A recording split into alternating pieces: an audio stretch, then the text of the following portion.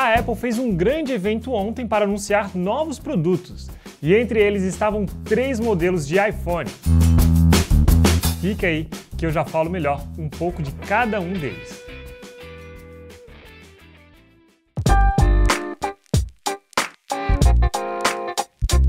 O smartphone mais recente lançado pela Apple era até então o iPhone 10, esse que está aparecendo na tela.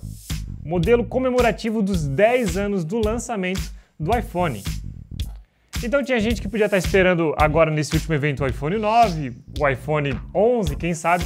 Enfim, fato é que a Apple anunciou três novos smartphones: o iPhone 10R, 10S e 10S Max.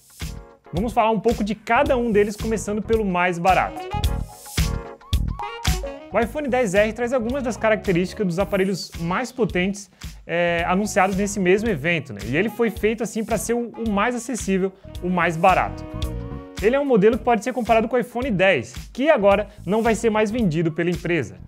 Depois do anúncio desses novos smartphones, a Apple anunciou que não vai mais vender o iPhone 10, então o iPhone 10 não está sendo mais vendido por ela. Bom, sobre o iPhone 10R, tem algumas características que o diferem do iPhone 10. Uma delas está na câmera. O 10R traz só uma câmera traseira em vez é, das duas que trazia o 10. Mas durante o evento, a Apple prometeu melhorias no software utilizado para fotografar no modo retrato com uma câmera só. Esse que é um dos modos mais populares na hora de fotografar com as câmeras, né? aquele que você desfoca o fundo.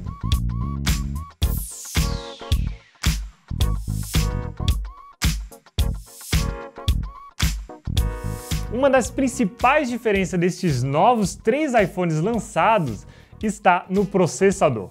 Os três smartphones anunciados ontem eles trazem um, um, processador A12 Bionic, um processador muito potente feito na litografia de 7 nanômetros. Ele é o primeiro smartphone anunciado com um processador 7 nanômetros, né? O outro o da Huawei é, ainda não foi anunciado oficialmente, a gente sabe por vazamentos que tudo indica que vai ser, mas ainda não foi anunciado. Então, oficialmente, o primeiro smartphone anunciado com um processador 7 nanômetros foi o da Apple ontem. Isso permite mais desempenho com menos consumo. O iPhone 10 ele, ele tem um A11 Bionic de 10 nanômetros. Então teve uma certa melhoria.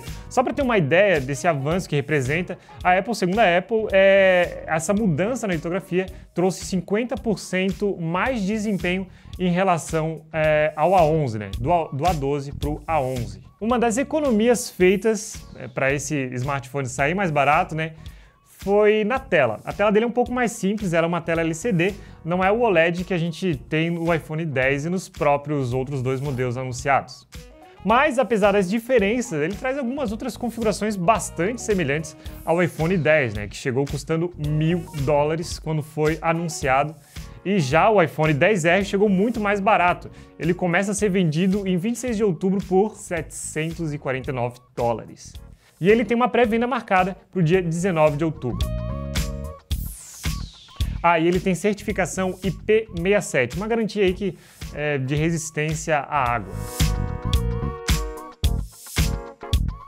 Bom, vamos falar agora dos dois modelos mais potentes anunciados ontem, o 10S e o 10S Max. Esses dois modelos são muito parecidos entre eles, sendo que o 10S Max é uma melhoria, uma amplificação do, do 10S, e a principal diferença está na tela do aparelho.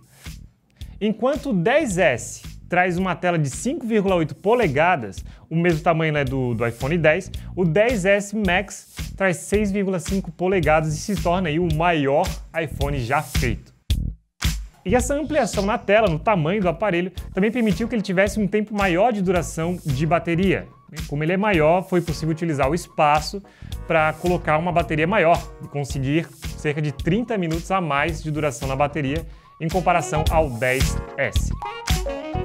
Os dois modelos têm tela OLED, eles são resistentes a arranhões, né, uma tela resistente a arranhões, e tem dois sensores traseiros com, com as mesmas especificações, né? Inclusive, o, eles têm o mesmo processador, aquele A12 Bionic. Os dois começam a ser vendidos a partir do dia 21 de setembro, mas aqui no Brasil né, nós vamos ter que, que aguardar um pouco mais. O preço de cada um deles depende do modelo que você vai escolher, né? O, o modelo mais barato do, do 10S, ele vem, de 64 GB, chega custando 999 dólares. E o mais barato do iPhone 10S Max, também de 64 GB, chega custando 1.099 dólares, isso fora os impostos. E visualmente falando, assim, para resumir, todos eles são bem parecidos. O que muda mesmo é o tamanho, né? A presença ou não de duas câmeras na parte traseira, né? E alguns detalhes também na parte frontal da tela. Outro detalhe, como aconteceu com o iPhone 10, nenhum deles tem um sensor biométrico, mas ele traz o Face ID, a tecnologia de reconhecimento facial da Apple. E foram esses os três smartphones apresentados ontem pela Apple no evento.